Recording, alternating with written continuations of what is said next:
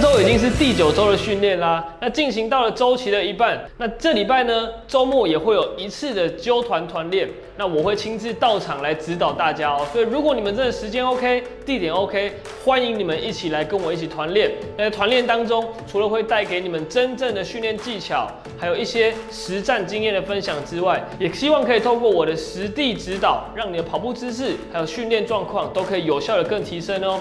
那详情的资讯呢，都在下方的资讯栏里面，所以有兴趣的跑者赶快去下面看。我们这礼拜天见喽。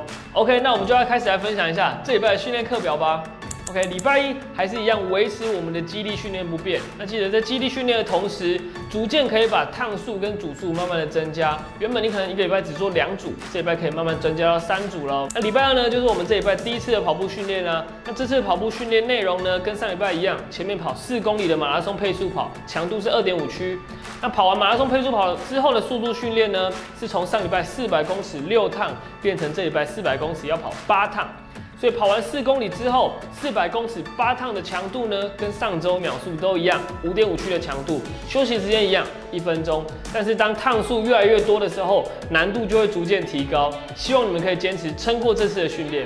那在礼拜三呢，也就是这礼拜的休息日啦，所以进行完核心训练，四百公尺的短距离训练，希望你可以透过今天的休息日，稍微让身体恢复一下状态，那也逐渐的为接下来两次的训练做准备。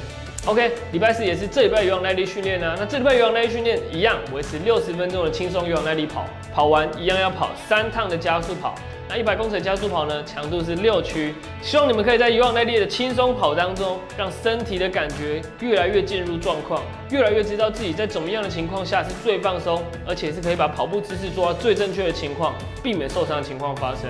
那接下来就是礼拜五的课表啦，礼拜五也是这礼拜的间歇训练啦。那这礼拜的间歇训练呢，是要跑一千两百公尺六趟。那每一趟的训练强度呢，一样是维持五点零区。那每一趟的休息时间呢，请你跑完一千两百公尺之后，在原地休息三分半钟。当三分三十秒到了之后呢，请你继续开始下一趟。那我们总要完成一千两百公尺六趟。那距离越长，你的身体的感觉应该在第一圈还 OK，第二圈开始六百公尺之后就是痛苦的开始。所以在六百公尺之后，请你要想办法坚持住身体的呼吸调节，还有放松的状态，不要越跑越僵硬。这个时候才可以避免你在跑步到后段的时候，因为僵硬。为了达到秒数，导致你的跑步姿势变掉，那这样不是我们希望发生的。OK，所以希望你们在一千两百公尺的后段，要想办法坚持住你的跑步姿势、呼吸调节，让你维持轻松的状态，完成这六趟的训练。OK，礼拜六一样是这礼拜的休息日啦。那休息日一样，可以稍微的去走走晃晃，也可以更期待明天我们的团练哦。OK，那礼拜天就是这礼拜的最后一次训练啦。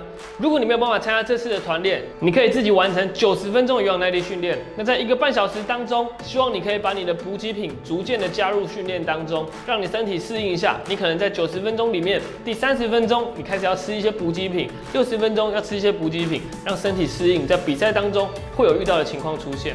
那如果你时间允许的话，也欢迎在礼拜天的时候一起来跟我们团练，参加这次的有氧耐力训练哦。OK，那以上就是这礼拜的训练啦，希望你们都可以想办法撑过这礼拜的训练，接下来就只剩下最后的六周啦。